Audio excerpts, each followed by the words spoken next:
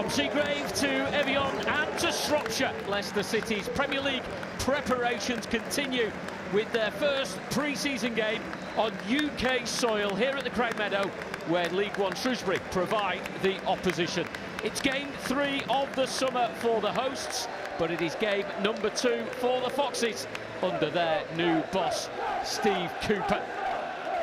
There's a strong Leicester City backing from the Blue Army as the teams line up in front of us with a perfect pitch ready for this pre-season game. Let's look at the two lineups for this evening's matchup. Well, Shrewsbury Town and Paul Hurst has recruited seven new players so far this summer. Only three of them start this evening. Luca Hoole, Tommi O'Reilly and George Lloyd. John Marquis was the last one through the door. He signed over the weekend. He starts tonight on the bench. For Leicester City, Abdul Fatawu starts after making his switch to Leicester a permanent one. Other new recruits see Caleb Okoli and Michael Golding start the evening on the bench. Stephy Mavididi was a goal scorer in France over the weekend in that 2-1 win against Villarreal. 27 players named in total by Steve Cooper with a number of the academy products on the bench looking to make a mark, to make a first team appearance and to impress their new manager. We predicted that perhaps McAteer would be the one to maybe play that 10 role, if you like. It seems from the outset that that would be the case. It's Leicester that get us underway, the experienced Conor Coady. As I mentioned, wearing that captain's armband, joined last summer after spending eight years with Wolves. Was part of that championship winning promotion squad and returns to the Premier League at the first attempt, just as Leicester City do. First touch on that far side for Abdul Fatawu. Did start the game against Villarreal over the weekend. That was a game that was split into two 60-minute matches. So this one is uh, the more traditional two sets of 45 preparing for the season. That is ahead. It's a corner that Fatawu will take. Already manhandling going on inside the penalty area. It's a header from Lloyd, the Shrewsbury striker. Comes out to Daka. Here's Luke Thomas, spent last season on loan. Initially in the Premier League with Sheffield United, and then the second half of the season in the Championship with Middlesbrough. Player that has come through the Leicester Academy. And has already amassed a decent amount of appearances, well over 80 for his hometown club.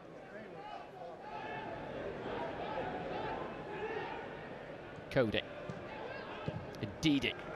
strange to see him wearing the number six. Here's Winks, such a key figure in the title-winning campaign. Mavididi, good first touch across that's up towards McAteer. Maybe caught in two minds whether to shoot or to lay that one back to Ricardo, who had joined him. Wilfred Ndidi, fresh from signing that new contract that will see him remain a Leicester player until the summer of 2027 will take him into 10 years as a Fox. Lovely link-up play there, and Daka is away, but McAteer has been adjudged to have fouled Mal Benning off the ball, and Daka's run is halted. Shrewsbury finished last League One season in 12th position. They have been dancing with danger. Most of their other campaigns in League One since promotion seven, eight years ago has been hovering close to that relegation zone. Again, Coady, he's got so much time and space to pick his man out. We know how good a passer of the ball he is from deep on a couple of occasions now. Here comes Mavididi again. Fatawu was an option, but Mavididi striking firmly and viciously from the edge of the area. The goalkeeper watching that one whiz past the post. On this occasion, Mavididi deciding not to use the option of Fatawu. And it nearly proved to be the right option. Uh, Leicester, it's some very early days. And they're in a class outfit right now, aren't they, against Shrewsbury opposition. that, ball from Coady I mentioned, Pereira, McAteer made the inside run.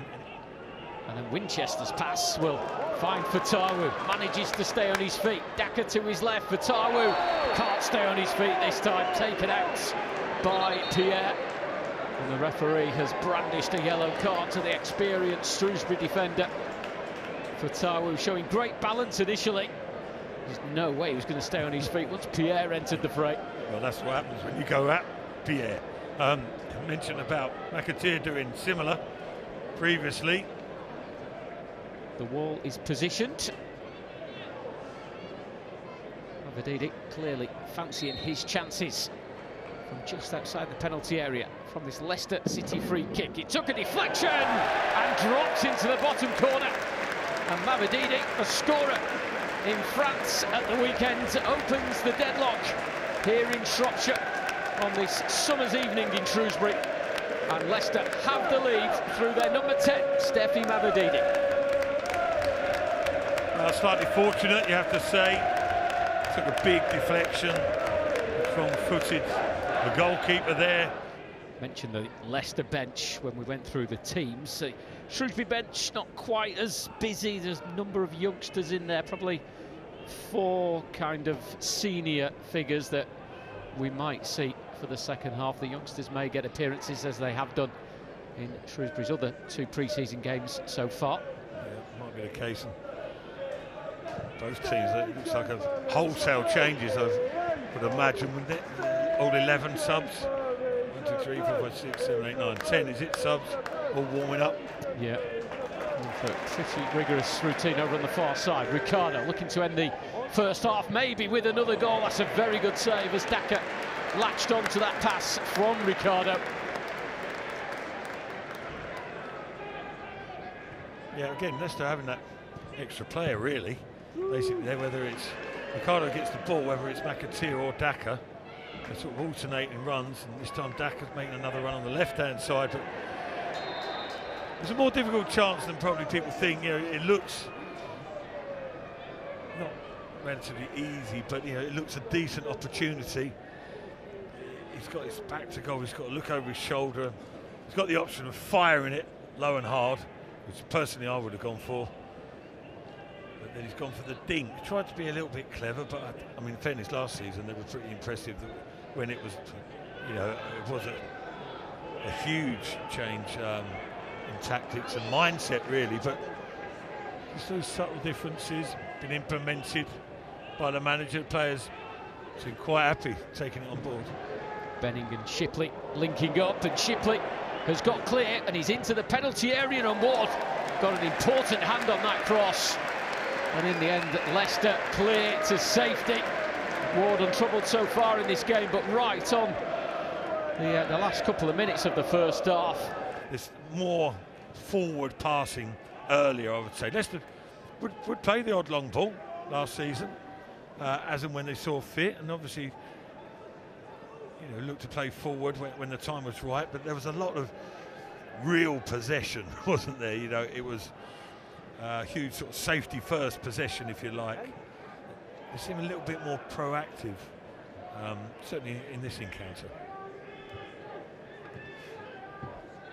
Nice turn from O'Reilly. Soumaré and Mavididi monitoring his progress, and that's an early ball in. Okoli may have got a touch as that came across the face of the goal from Bloxham on that left-hand side. And Okoli facing his own goal may have got the decisive touch to take it beyond Danny Ward, but Shrewsbury have an equaliser early in this second half. Shipley creating the problems, and they have an equaliser.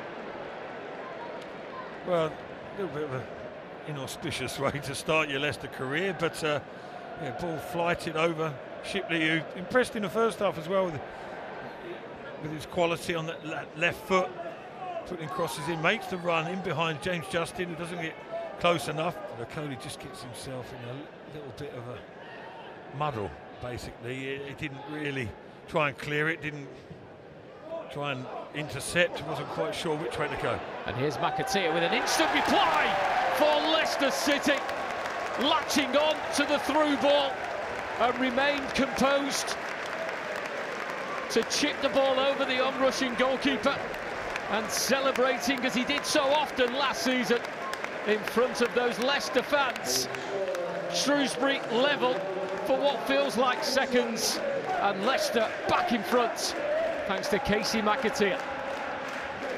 Well, quick as you like, Leicester's back in front, aren't they? And Kasey McAteer, who's looked a threat all evening, ball over the top, catches out the centre half. A little switch over. Yeah, no, sorry. They're, they're, listen, training's good. You see the attitude of players, don't you, day to day? But is Shrewsbury on the break? Winchester has shown the pace against Wanya Marçal. It's a block by Okoli. And then Mavididi can show his pace as Leicester look to break at the other end. McAteer's made a good run, and look at the space on the far side for James Justin. Not the cleanest of controls, but still a crossing opportunity.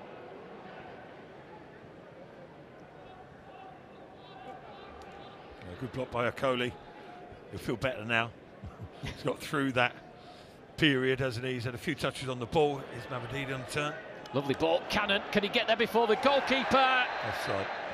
Flag is raised. Yeah, quite clear, I think. No VAR needed on that one. It's uh, good awareness from Mavididi. He's, he's, I wouldn't say I'm surprised how comfortable he looks in there. The other change for Shrewsbury, George Nurse is on and the experienced John Marquis is on up front. He signed just before the game they had here with Birmingham on Saturday. It's really good skill by Golding.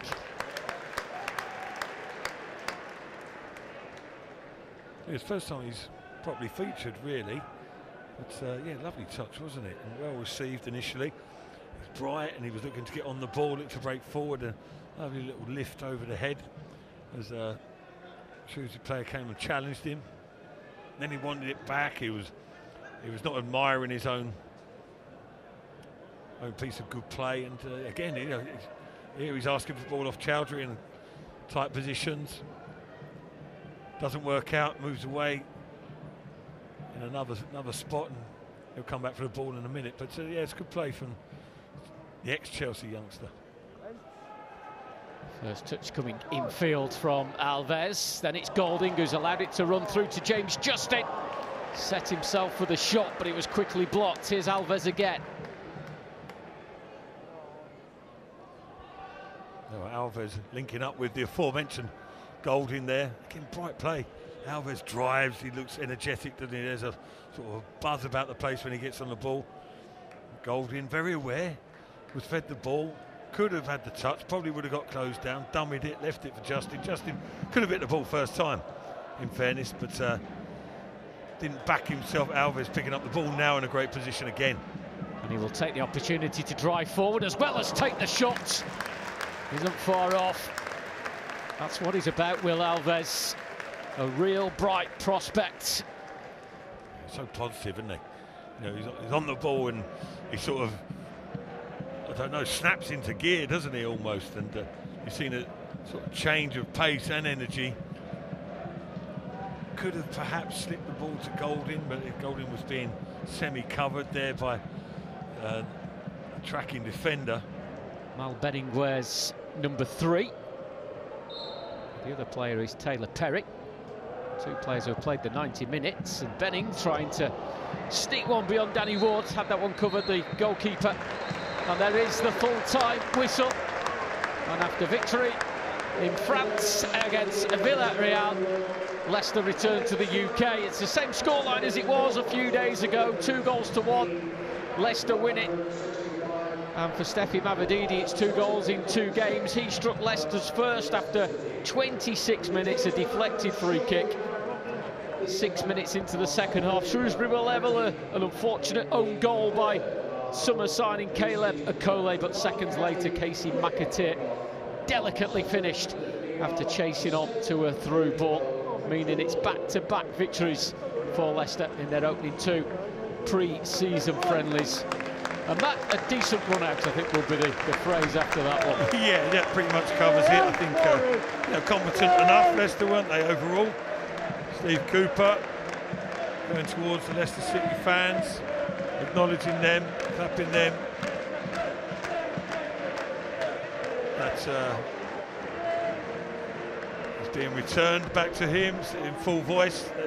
They seem to, despite his Nottingham Forest connections, I think he's been well and truly accepted by the supporters. Comes across very affable, doesn't he? Very personable, you know, a very likable character, which obviously helps his cause.